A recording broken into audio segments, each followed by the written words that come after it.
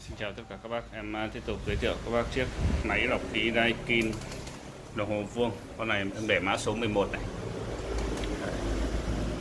Tình trạng máy thì hoạt động tất cả mọi chức năng ok ngon lành hết.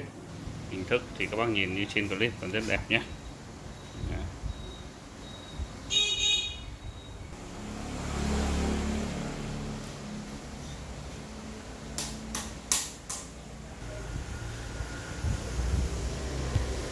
Con đai kim đồng hồ vuông. Tình trạng máy đẹp nguyên bản.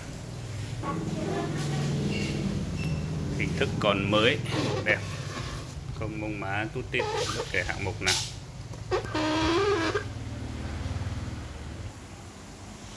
Thông số tem mát đầy đủ các bác nhé. ACK 70 đời 2013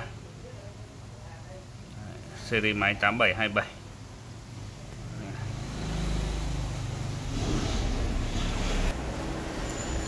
test các chức năng cho các bác này. Đầu tiên đây là phím à, tắt bật đèn. Hoặc là giữ hai giây thì khóa cho em nhé. Hẹn giờ tắt này. Hẹn giờ bật. Eco tiết kiệm điện. Bật tắt ion. Chế độ bù ẩm. Chế độ lọc khí. Tăng tốc giảm tốc tự động các kiểu luôn. Máy đã được đấu biến áp điện 220V rồi. Công nghệ timer khử khuẩn. Mặt trước này là đồng hồ báo phần trăm độ ẩm. Ở những cái ngày hanh khô thì các bác cho nước vào bình. Nước vào bình bên cạnh như vậy nhé. Cho nước vào bình này, các bác bù ẩm, làm tăng độ ẩm lên hoặc là các bác dùng phòng điều hòa nhiều. Đấy, thì nó sẽ bị khô, các bác cho nước vào bù ẩm nhé. Bên này đèn báo cảm biến bụi này. Đấy, khi mà báo màu ờ, đỏ là phòng có nhiều bụi bên này báo cảm biến mùi. Xanh thì là ok đây đang cam này. Đấy.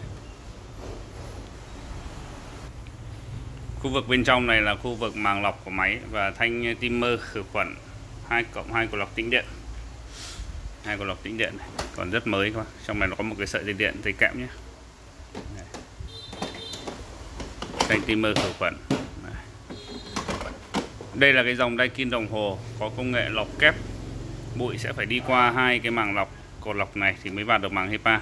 Trong màng HEPA này thì có một màng thô. Đấy. màng HEPA này là cái màng quan trọng nhất em thay mới rồi. Giá trị của nó khi các bác thay mới là 300.000 một chiếc. Còn trong này là màng tham xúc tác, khử mùi. Đấy.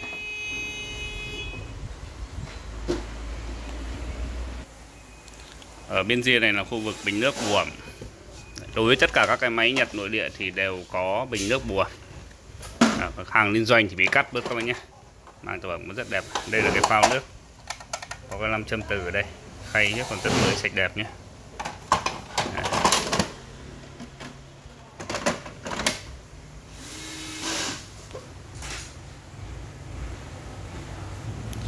Chiếc này thì hiện tại bên em đang bán với giá là 2 triệu 6 mã số 11 đã được đấu biến áp điện 220V rồi.